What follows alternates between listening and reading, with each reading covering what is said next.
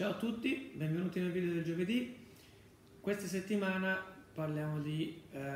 Urdhva Padmasana, posizione del loto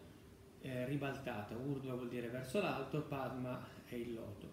Eh, è un eh, ribaltamento della posizione del loto per cui eh, la preparazione diciamo, delle, delle, gambe, delle anche per evitare di, di ehm, diciamo, fare torsioni alle ginocchia o eh, inversione alla caviglia, eccetera, necessita appunto di, una, di, un, di, uno studio, di una preparazione e a tale proposito appunto Silvia farà nelle prossime settimane delle, degli approfondimenti e delle preparazioni mirate per eh, raggiungere eh, la posizione del loto con le varie caratteristiche eh, fisiche che ognuno può presentare. Eh, per cui non mi dilungo su questo aspetto, eh, passiamo proprio direttamente alla, allo, allo, svolgimento della, dell'azione di Urva Padmasana. Ehm,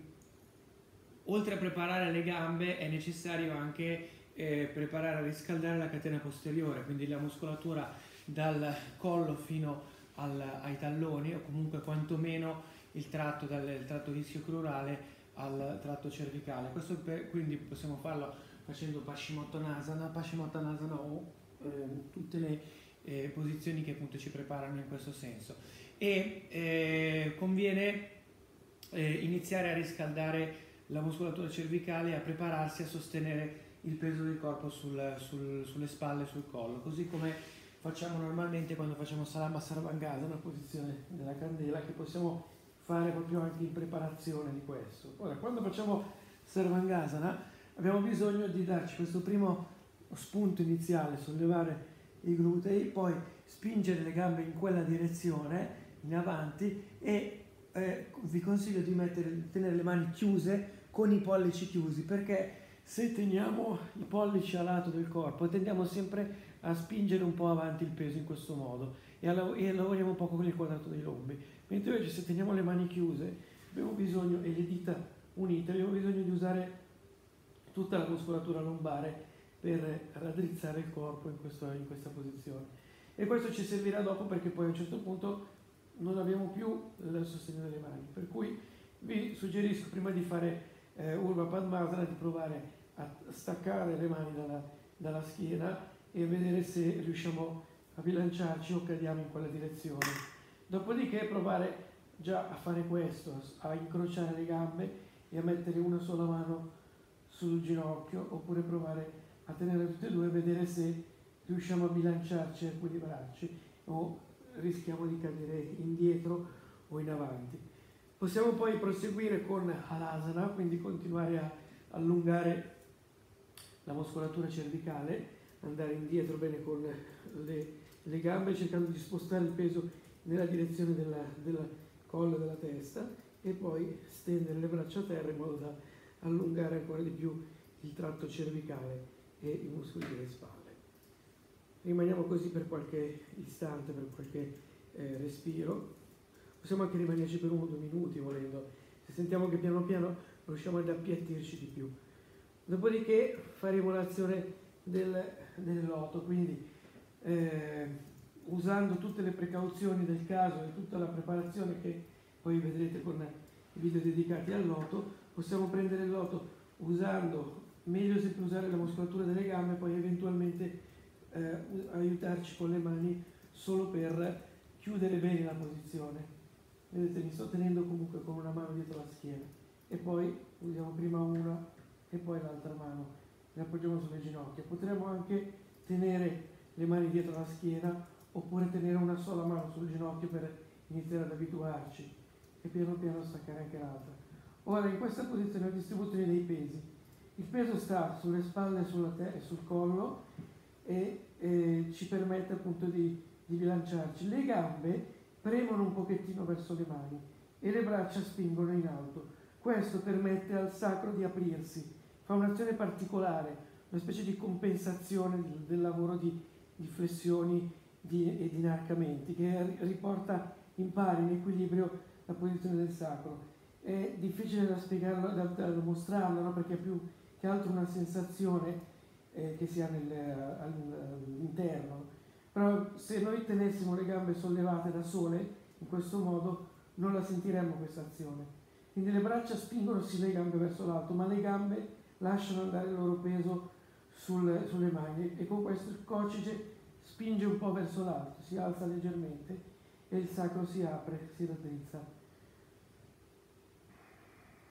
In questa posizione naturalmente siamo stimolati a fare già l'andare a banda, che adesso sto impedendo perché altrimenti non riuscirei a parlare, però possiamo schiacciare bene il mento contro lo sterno e chiudere e fare già l'andare a banda. E cerchiamo di tenere fermo l'ombelico e di respirare solo con, le, con il torace.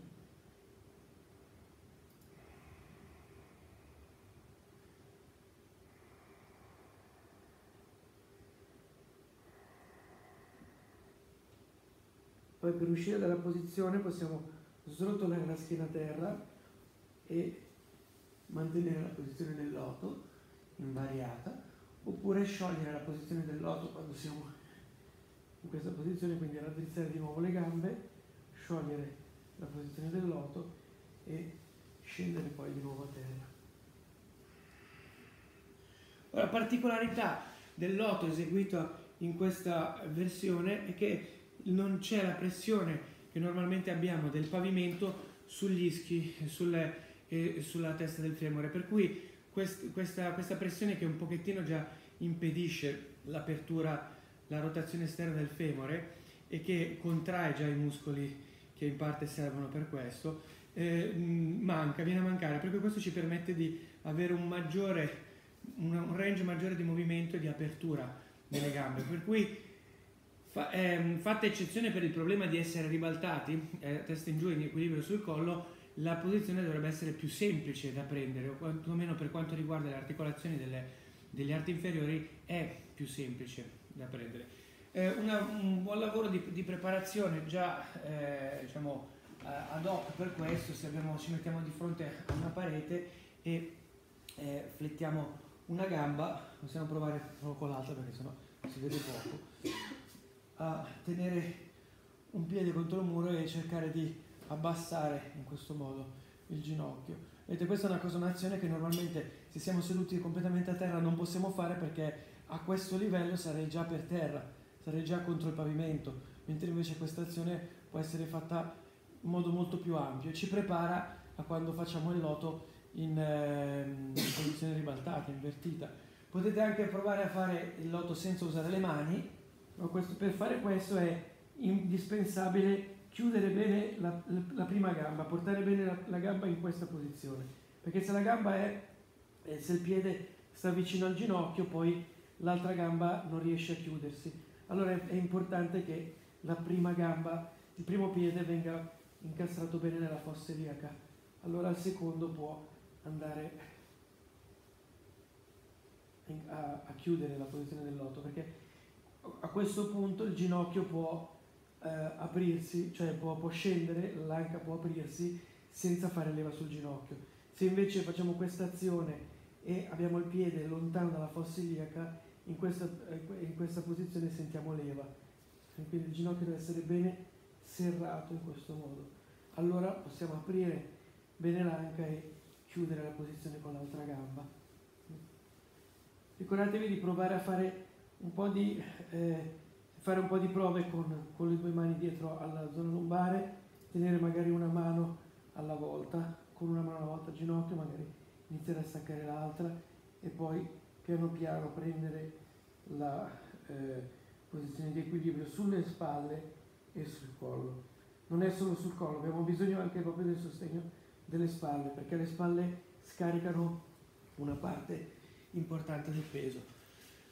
Ehm, simbolicamente eh, il loto è una, una, posizione in cui eh, il, diciamo, la, la, radice che, che, che cresce nel, nel, nel, fango melmoso, nel torbido, ehm, eh, fa, diciamo, eh, genera un fiore che cerca da subito la luce e cerca di affiorare e poi sboccia fuori dall'acqua come un fiore limpido, meraviglioso, che apre le proprie radici nel, nel marciume, nel, nel, nel fango eh, melmoso. In questo caso la, il ribaltamento di questo eh,